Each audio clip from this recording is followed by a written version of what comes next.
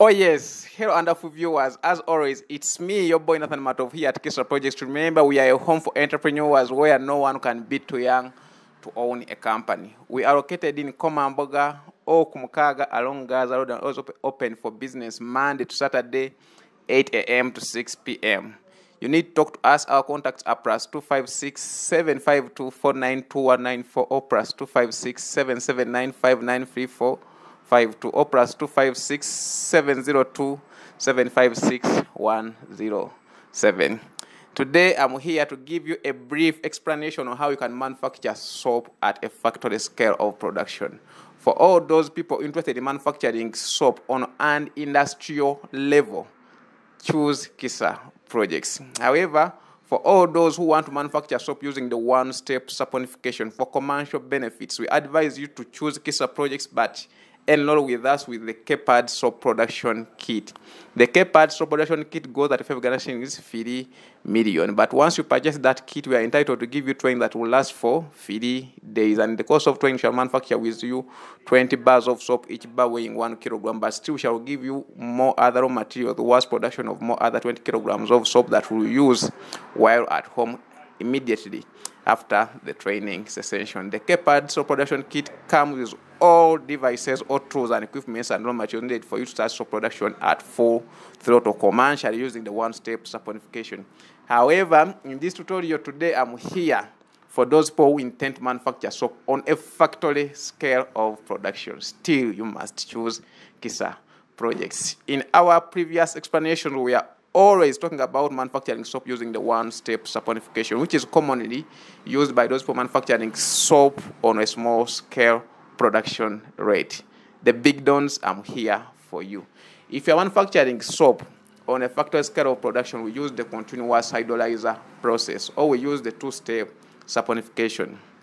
Now, the continuous hydrolyzer process begins with natural fat that is split into fatty acids and glycerin by means of water at high temperature and pressure in the presence of a catalyst, which is zinc soap. Now, zinc soap can also be called zinc stearate, or we can say zinc stearate is zinc soap, and this is usually used industrially. In this context, soap is used in its formal sense, a metal salt of fatty acids. In this sense, stearic acid.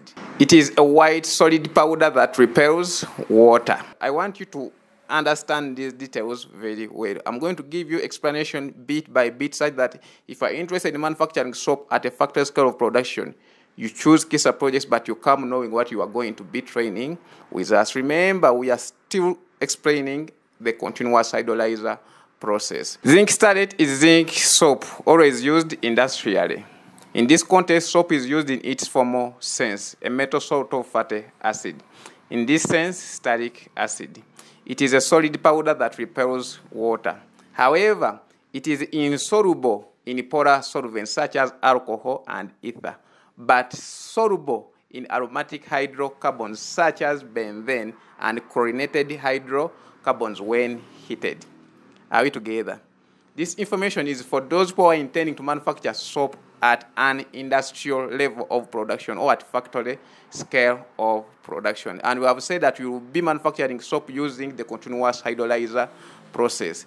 And I've said that the continuous hydrolyzer process begins with natural fat that has a split into fatty acid and glycerin by means of water at high temperature and pressure in presence of a catalyst which is zinc soap. So um, I have been briefly explaining about the zinc soap. Zinc soap is the most powerful mold release agent among all metal soaps. It contains no electrolyte and has got a hydrophobic effect.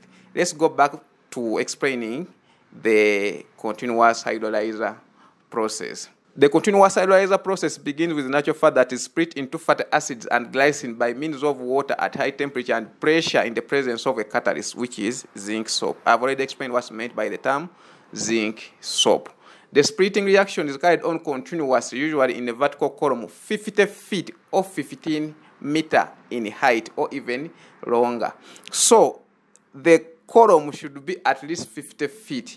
50 feet is the same as 15 meter.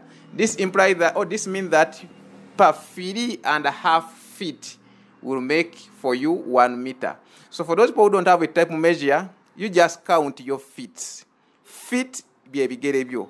Gatta ebigere byo kimu bibiri bisatu omalayo kikiike okola ekigere kyekitundu awo ogenda kuba okoze mita emu so repeat the same trend for another 15 times so that is the vertical column that you need if at all you're going to manufacture soap using the continuous hydrolyzer process i repeat the splitting reaction is continuously carried on in a vertical column which is 50 feet or 15 meter in height or even longer.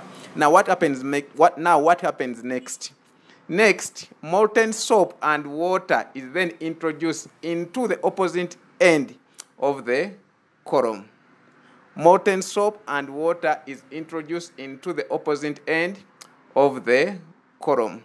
Then fatty acids and glycerin will be simultaneously withdrawn. Are we together? then fatty acids and glycerin will be simultaneously withdrawn. It's, it's different from the soap manufactured using the one-step saponification whereby we just use triglycerides and we treat them using a strong base. This time, things are different. Now, what are we going to do next? Now, the fatty acids are going to be distilled under a vacuum to effect purification. The fatty acids will be then distilled under a vacuum to effect purification. They are then neutralized using a strong alkaline solution, usually sodium hydroxide, to yield neat soap.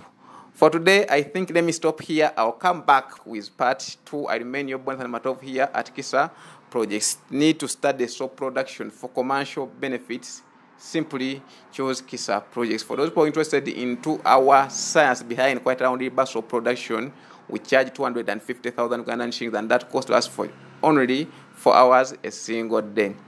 However, in the course of training, you practically shall manufacture with you only one bar of soap weighing one kilogram.